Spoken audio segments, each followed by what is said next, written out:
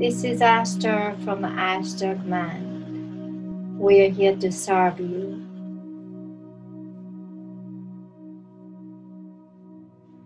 Hello, Ashtar. Hello. It is a pleasure to connect with you again. It is pleasure to connect with you and all of you. So, would you like to give us some uh, insights and some advice on uh, these challenging times that we are going through right now collectively on this earth plane? Um, some advices on, on how to navigate through the challenges, how to keep our vibrations high.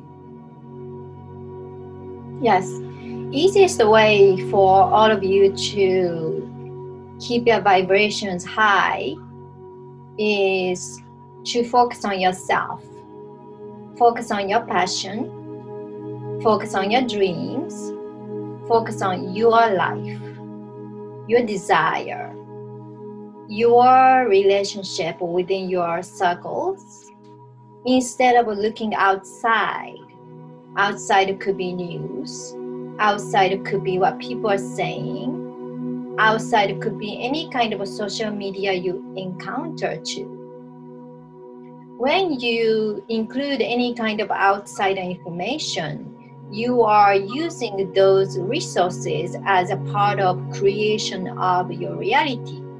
So we are recommending you to be careful what you watch and what you include into your reality. Because as soon as you watch them and then take them in it becomes your reality which wasn't really there to begin with um, those are other people's construction other people's um, filter of their reality so it is very important to use discernment and use and discernment and also pick and choose what you like to include and what you like to exclude. So easiest way to create a pure, joyful reality, staying joyful vibration, it is important for you to focus on inside. What do you like? What do you love? What are you passionate about? What makes your heart sing? This is the easiest way for anyone to focus on because everybody do have their awareness of what they like, what they don't like, what makes them happy. Right now, you are, we mean humans, are experiencing challenging time. These are collective decisions you all decided to experience, but even though this theme is the same, degree of challenge or how you feel about this current situation is different from person to person.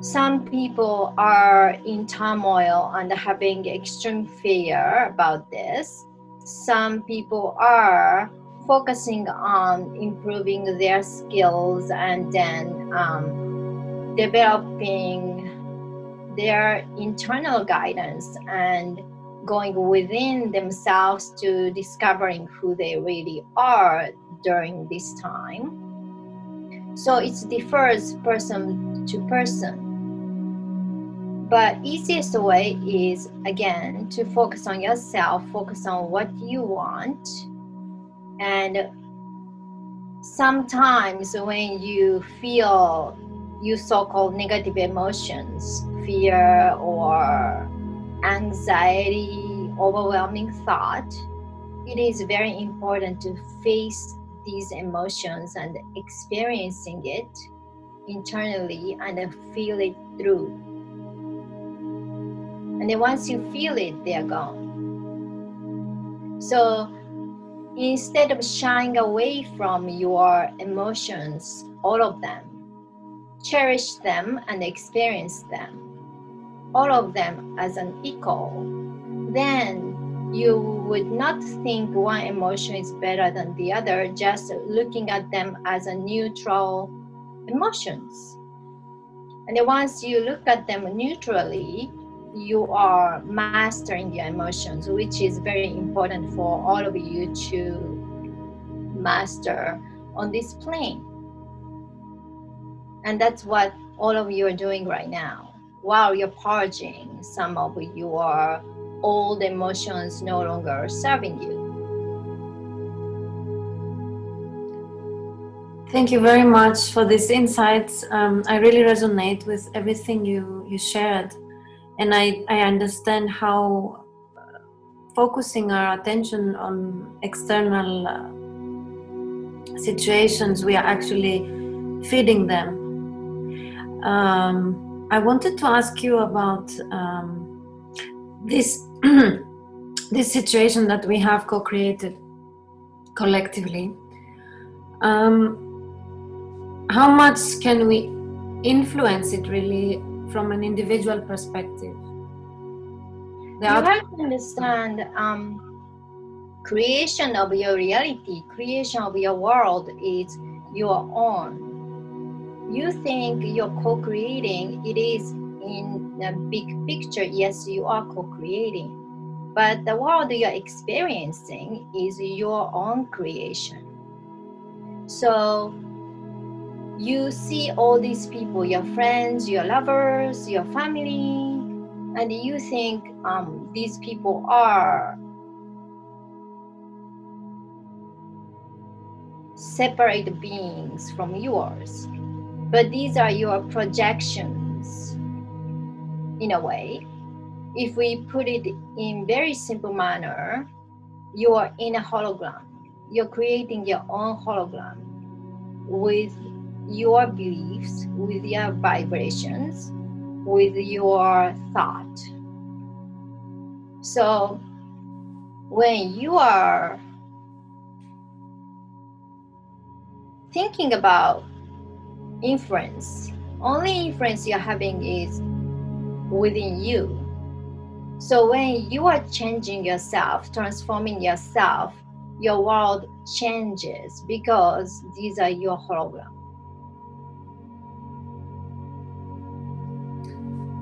But it's a complicated one, right? It's quite complex, convoluted, and entangled, right? This is what I'm trying to often wrap my head around because I do understand what you're saying that we, we, we create our own reality individually, uh, but at the same time, we have the collective um, reality that we co create. For example, the global events right now, it's, it's a co creation, right?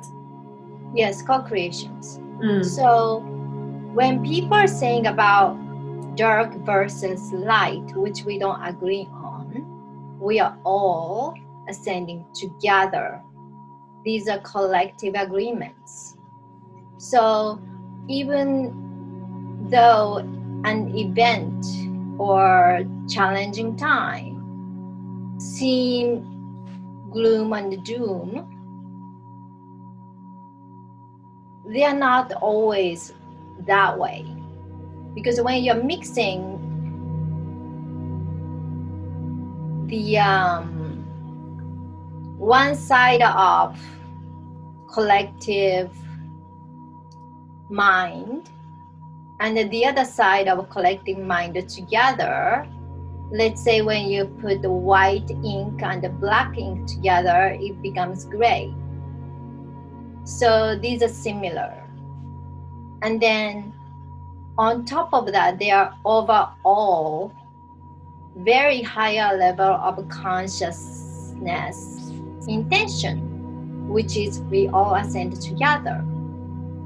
So yes, it is. Um, there are a lot of entanglement with other other peoples, other creations together but in a big big picture as a collective which is you are all part of you are putting and putting all this information together into your own hologram.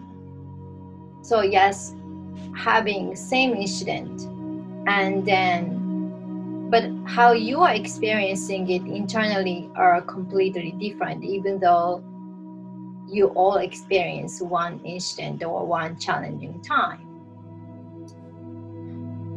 Yeah and then i guess would you agree that it's also what also shapes our own reality is how we react to the external events? Yes it is. It is. That's why sometimes seemingly not the great event happens. So you can reroute yourself from one vibration to another. Mm-hmm. You can make a collective decision again from previous, we would say, timeline decisions. So when you shift vibrations from one event by having a different decisions which is higher frequency decisions which is coming from by raising consciousness.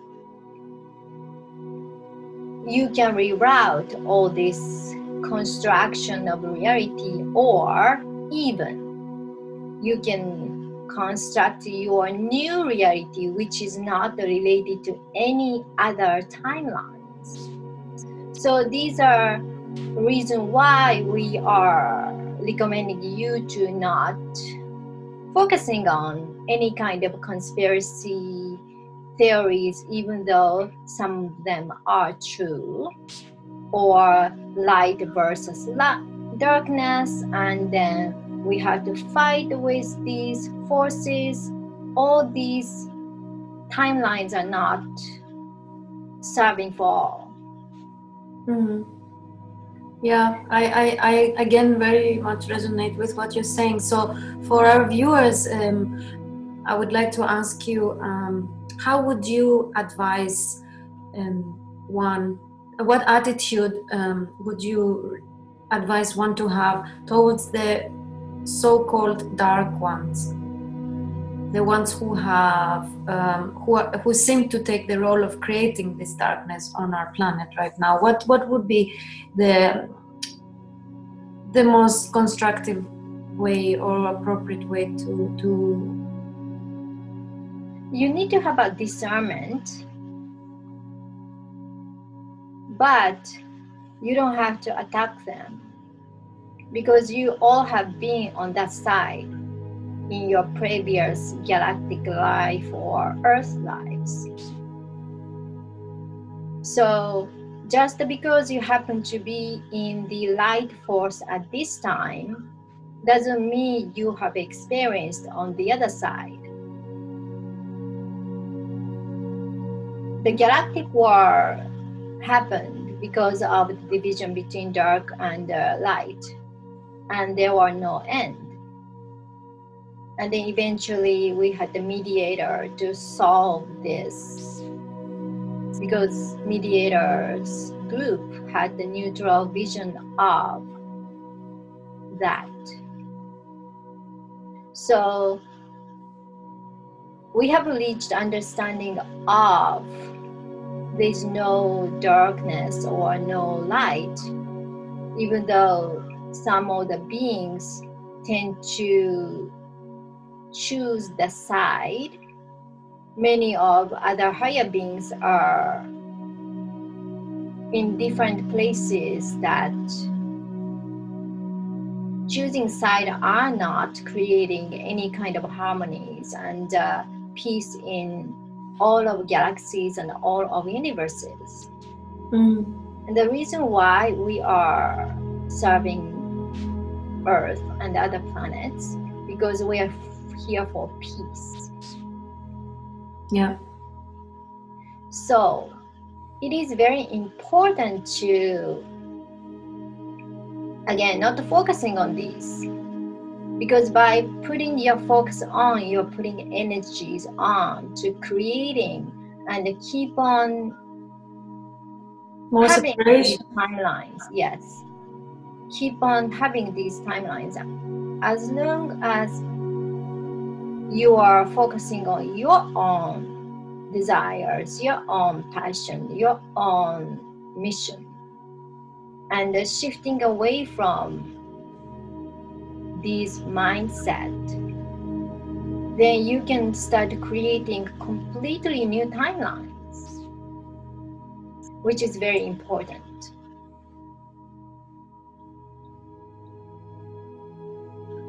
What comments do you have on the on the current uh, seemingly separation between people, um, and how can we deal with um, with especially people that are close to us that um, we are not um, on the same page, that we we have opposite opposite um, beliefs. Yes, this is the reason why Earth is very um, hot place where a lot of beings are watching and giving their hands. Some of them are giving their hand. Because when you are in a particular planet in higher frequencies, you have more of collective mindset and you have more of collective frequencies. So you don't have so many different thoughts or ideas or how you want to operate yourselves. So within the planet level, you don't encounter someone who is different. Or within even a frequency levels, you don't really encounter someone who is different either. You can always understand you are fellow beings' point of view because you vibrate in the similar frequencies. So when you encounter someone who is having completely different thought, completely different beliefs, completely different idealisms, and they also think they are right.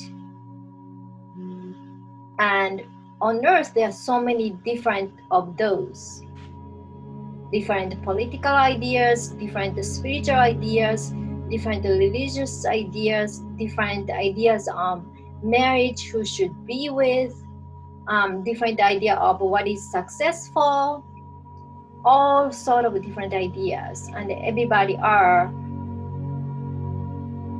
putting label on who is right and who is wrong. So this is a perfect ground to exercise. Respecting other people's opinion, even though you don't agree them at all, without attacking them, without um, belittling them, without beating them up. And you can respect others' differences. There is peace you don't have to change your point of view or how you conduct your life, but you can respect where they're coming from. So when both can do that, there is peace.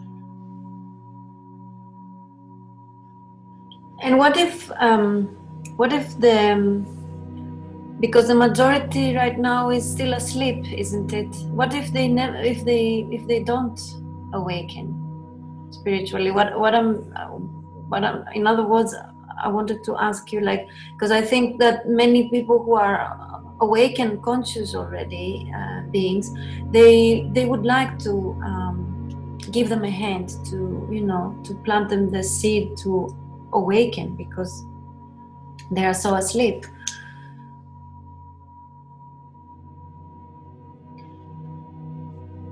collectives decided to awaken. We're talking about people on earth. So the degree of the time, how fast or how slow they're going to be awakened, which is different.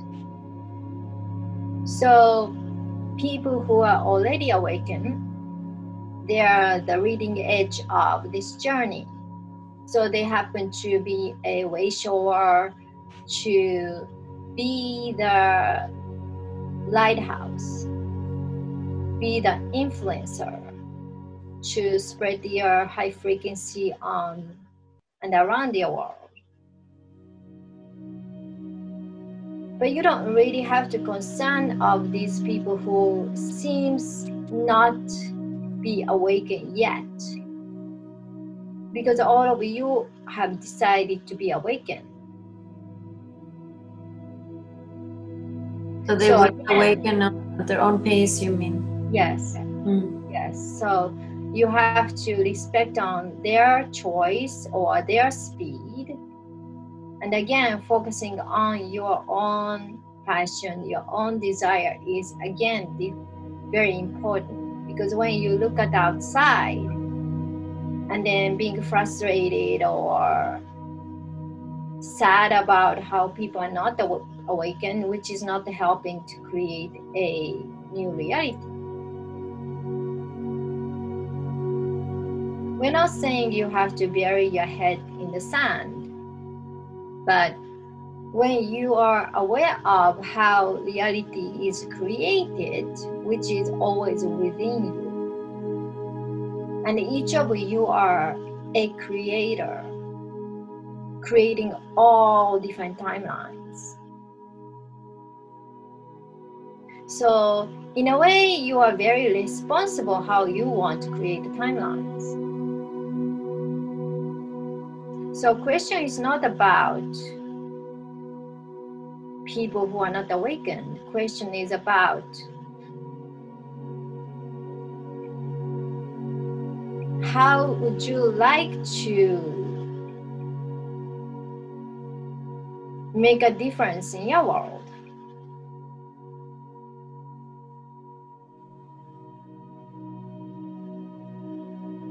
That's what you need to be focusing on.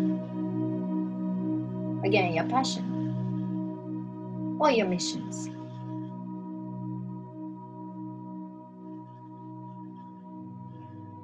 Wonderful. Thank you so much for our pleasure. the this is information. Ashtar from Ashtar Command. We are here to serve you